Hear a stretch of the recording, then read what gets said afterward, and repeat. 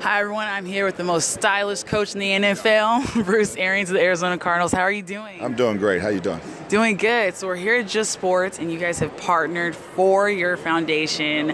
Are you excited to see everyone buying this merchandise just to support you guys? Oh, it's fabulous. I mean, to, to, to be in this partnership with Just Sports and uh, and State 48 is just fabulous, and what they have done to help help our cause to, to, to create more awareness to help our children.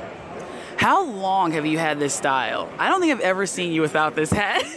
oh, guys, you, you can find pictures of me back when I was 32 years old or, or, or earlier in college. in college. too. I always wore hats, and uh, it's just where I grew up, you know. Do people not recognize him if he doesn't have it on?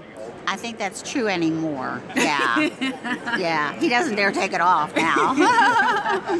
Lastly, even five years ago, did you even imagine just all the fans that just support you and dress like you for Halloween and like literally just want to be so much like you? It, you know? it truly blows my mind. And, uh, you know, we had two trick or treaters last night, but one of them was really special. Steve Keim's son, Brady.